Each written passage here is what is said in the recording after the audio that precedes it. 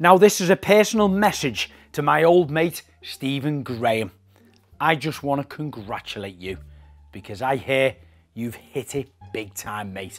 I, I know you've been in all these movies, you know, The Irishman, Snatch, and things, just to name a few. I mean, they're, they're, they're nothing, obviously. But, mate, hey, mate, to be recognised and to be mistaken for the one and the only Craig Phillips. Well, you're Craig from Big Brother. there you are, there you go, look, see.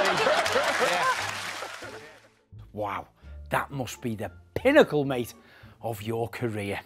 I bet you're feeling proud, aren't you? Well, listen, mate, I know we've got a little bit of press out of this, and hopefully it will do you good, right? But if it all else fails and you can't get them roles in the movies anymore, don't worry about it, mate.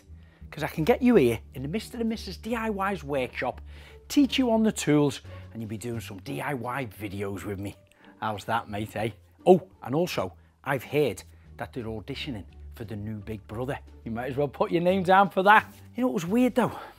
I turned into work the other day, and um, yeah, all of my staff, well, they got me mistaken for you. What do you mean? I don't look at anything like him.